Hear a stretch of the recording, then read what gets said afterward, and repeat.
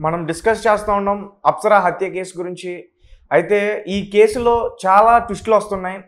నిన్న కూడా కొన్ని ట్విస్టుల గురించి మాట్లాడుకున్నాం. ఇప్పుడు ఈరోజు మరొక ట్విస్ట్. ఏంటంటే ఆమె మొదటి భర్త తన వల్లే ఉరేసుకుని చచ్చిపోయాడని చెప్పేసి కార్తీక్ అనే వాళ్ళ అమ్మగారు చెప్తా ఉన్నారు. అసలు దీని గురించి పూర్తి వివరాలు అనేది మన సార్తో డిస్కస్ చేద్దాం. సార్ నమస్తే సార్. నమస్తే. సో మనం డిస్కస్ చేస్తూ ఉన్నాం. కానీ. ట్విస్టుల మీద ట్విస్టులు వస్తున్నాయి. మ్యారేజ్ అయింది second marriage third marriage. Divorce అయిందని చెప్పేసి ఇలా కథనాలు వినిపిస్తున్నాయి. ఇప్పుడు వాళ్ళ అమ్మగారు వచ్చేసి ఏం చెప్తున్నారంటే అప్సరా వల్లే కార్తిక్ అనే వ్యక్తి ఉరివేసుకుని చనిపోయాడు. సో దీన్ని ఎలా తీసుకోవాలంటారు మనం? యాక్చువల్గా ఏంటంటే మీరు చెప్పినట్టుగా ఇది ఒక క్రైమ్ థ్రిల్లర్ వెబ్ సిరీస్ లాగా వెళ్తుంది. రోజుకు ఒక కొత్త విషయం ఇరు వర్గాల గురించి. ఇటు సాయి కృష్ణ గురించి కొత్త విషయాలు వస్తున్నాయి అటు అప్సరా గురించి కూడా వస్తున్నాయి. మామూలుగా లీగల్గా లీగల్ యాంగిల్లో చూసినప్పుడు సాయి కృష్ణ చేసింది అబ్సల్యూట్గా తప్పు. అతనికి ఖచ్చితంగా లీగల్గా ఏ శిక్ష పడాలో ఆ శిక్ష పడుతుంది. దాంట్లో డౌట్ లేదు. అయితే ఇది ఓన్లీ లీగల్ ఆస్పెక్ట్లోనే మనం చర్చించలేం. ఎందుకంటే దీంట్లో అనేక సామాజిక అంశాలు కల్చరల్ అంశాలు రకరకాల విషయాలు ఉన్నాయి. దీని నుంచి కూడా ఏంటంటే ఈ చర్చించడం వల్ల ఏం లాభం అంటే ఈ ఇలాంటివి జరిగినప్పుడు మనం కాంక్రీట్గా చర్చిస్తే దాని నుంచి అనేక గుణపాఠాలు నేర్చుకునే అవకాశం ఉంది. భవిష్యత్తులో ఇలాంటి యూత్ కానీ లేకపోతే ఇలాంటి సమస్యలు ఉన్నవాళ్ళు తమ సమస్యలను ఎలా డీల్ చేయాలి అనేది జరిగిన వాటి నుంచి నేర్చుకోవాలి. ఎప్పుడైనా కూడా స్వీయ అనుభవాలే పనికొస్తాయి అనుకోకూడదు. ఇతరుల అనుభవాల నుంచి కూడా మనం నేర్చుకుంటాం.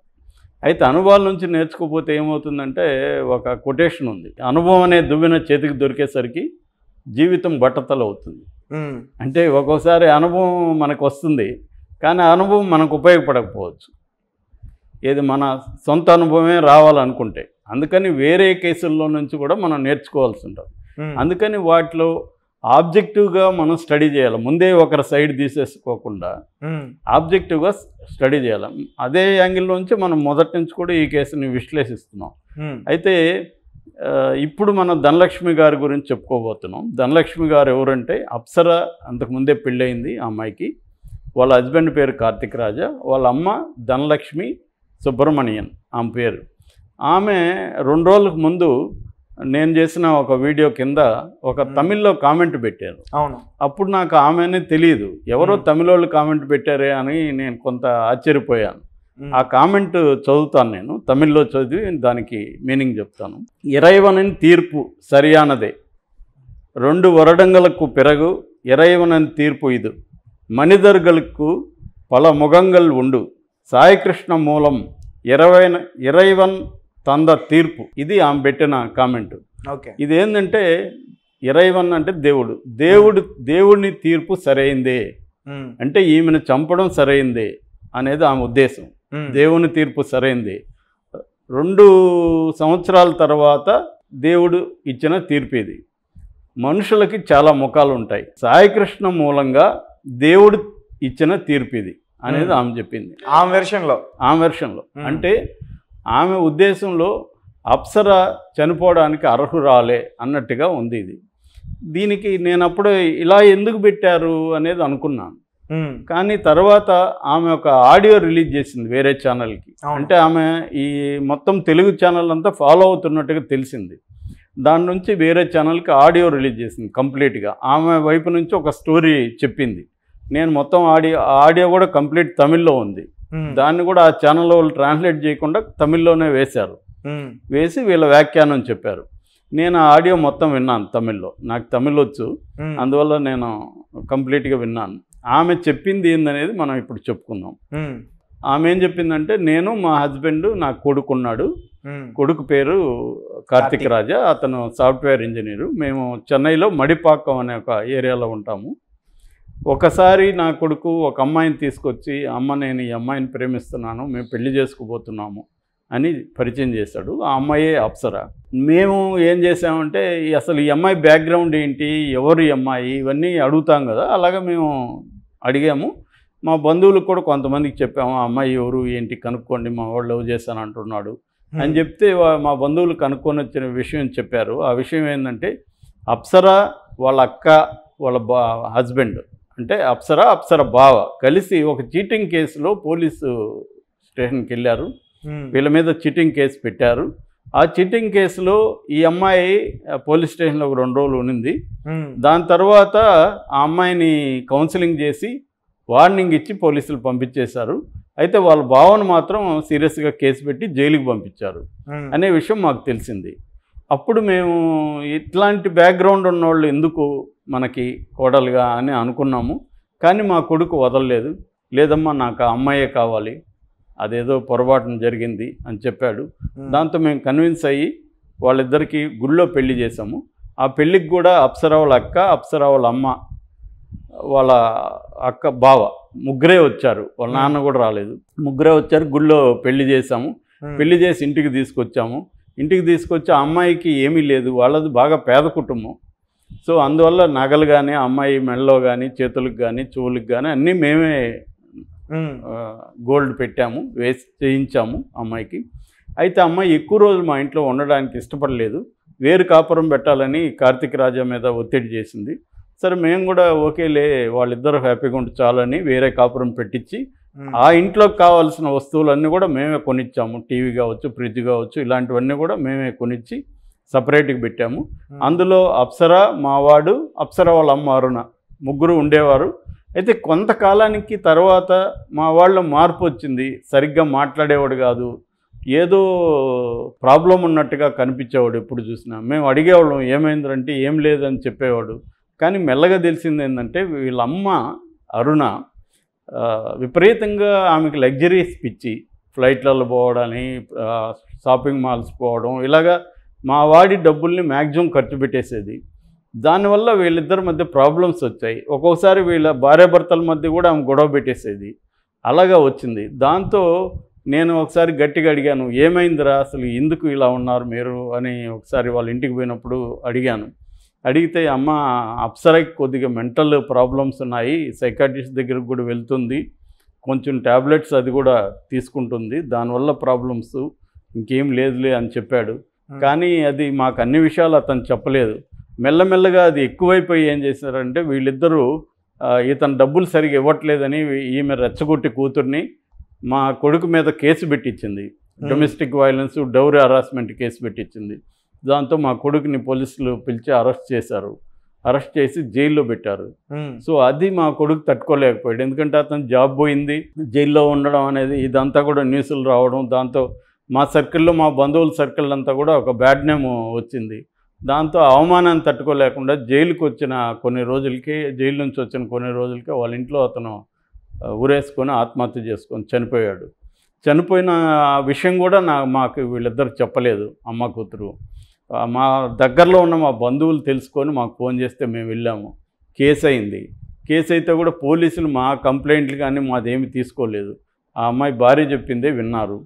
సో ఇత రెండోది వాళ్ళకి ఏంటంటే ఆల్రెడీ డొమెస్టిక్ వైలెన్స్ ఇవన్నీ ఉంది కాబట్టి మా కొడుకు ఆ యాంగిల్లోనే చనిపోయి ఉంటారు వీళ్ళ వేధింపులు వల్ల కాదు అనేది పోలీసులు కూడా నమ్మారు.